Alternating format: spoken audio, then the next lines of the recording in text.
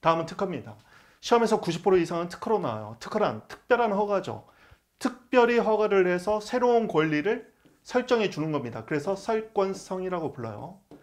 여기서 말하는 설권성은 새로운 권리를 설정한다, 창설한다 이런 의미를 갖습니다. 새로운 권리를 설정한다, 창설한다. 그래서 형성한다. 그래서 형성적 행정행위라고 부르죠.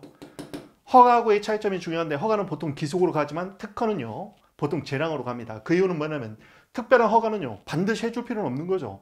해줄 수도 있고 안 해줄 수도 있다. 이게 바로 재량입니다.